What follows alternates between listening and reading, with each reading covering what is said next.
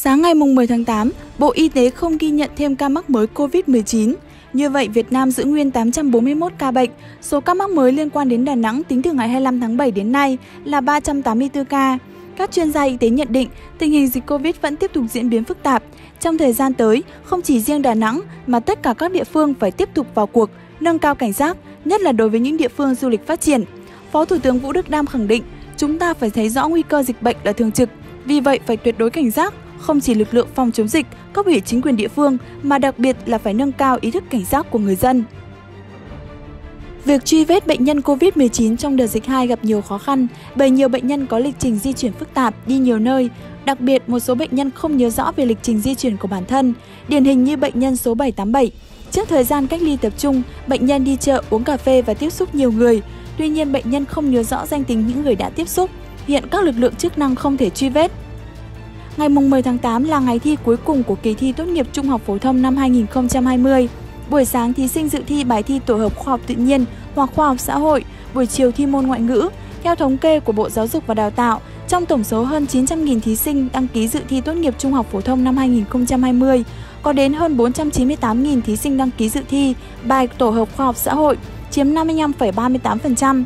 Còn số thí sinh đăng ký dự thi bài tổ hợp khoa học tự nhiên hơn 296.000, chiếm 32,9% trong tổng số thí sinh đăng ký dự thi. Quy chế thi tốt nghiệp trung học phổ thông năm 2020 có sự điều chỉnh, chỉ cho phép thí sinh được đăng ký một bài thi tổ hợp thay vì được dự thi cả hai bài để xét tốt nghiệp và tuyển sinh đại học cao đẳng. Bộ Tài nguyên Môi trường vừa ký quyết định hủy thanh tra hàng loạt dự án bất động sản tại nhiều địa phương đang chịu ảnh hưởng trực tiếp của dịch Covid-19 như Hà Nội, Thành phố Hồ Chí Minh, Bình Thuận, Quảng Nam.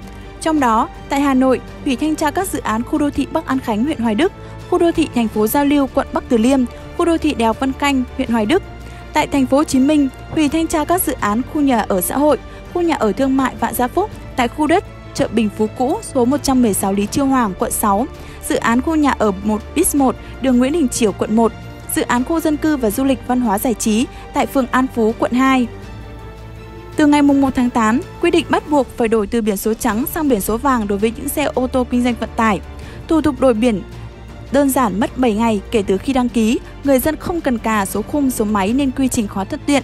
Trong tuần đầu tiên, đã có nhiều chủ phương tiện kinh doanh vận tải đến làm thủ tục đổi màu biển tại các cơ sở đăng ký xe. Các cán bộ cảnh sát giao thông hướng dẫn cặn kẽ các trường hợp đăng ký cấp mới và đổi biển vàng. Lưu ý, đối với xe kinh doanh thế chấp vay vốn, chủ phương tiện có thể xin xác nhận của ngân hàng để hoàn tất thủ tục. Ủy ban nhân dân thành phố Hồ Chí Minh vừa phê duyệt bổ sung hơn 141 tỷ đồng để trợ giá xe buýt, nâng tổng tiền trợ giá năm 2019 lên 1.247 tỷ đồng. Số tiền này sẽ được giải ngân trước ngày 15 tháng 8. Theo Trung tâm Quản lý Giao thông Công cộng, số tiền trên sẽ dành gần 117 tỷ đồng để bù tranh lệch đơn giá, số còn lại dùng để tăng tiền lương. Trung tâm Quản lý Giao thông Công cộng đang tính toán, cập nhật để cấp phát cho các doanh nghiệp vận tải theo số lượng xe. Theo một số doanh nghiệp xe buýt, việc bổ sung tiền trợ giá này giúp họ phần nào vượt qua khó khăn, vì đến nay nhiều đơn vị chưa nhận được tiền trợ giá, bù phần chênh lệch, một số doanh nghiệp hợp tác xã xe không đủ tiền trả lương và nhiên liệu. Ngày 9 tháng 8, Cơ quan An ninh Điều tra Công an tỉnh Lào Cai cho biết đã ra quyết định khởi tố bị can và bắt tạm giam đối với Phùng Thế Anh, 26 tuổi, trú tại huyện Bảo Thắng và Vàng Gieo Xóa, 31 tuổi, trú tại huyện Mường Khương về hành vi tổ chức đưa người nhập cảnh trái phép vào Việt Nam. Thế Anh và Xóa khai nhận từ ngày 6 đến ngày 15 tháng 7 đã 5 lần điều ô tô để đưa 44 người Trung Quốc nhập cảnh trái phép vào Việt Nam. Tổng tiền công mà hai bị can này nhận được là 240 triệu đồng. Cơ quan an ninh điều tra công an tỉnh đang tiếp tục điều tra, làm rõ hành vi của các bị can để xử lý theo quy định.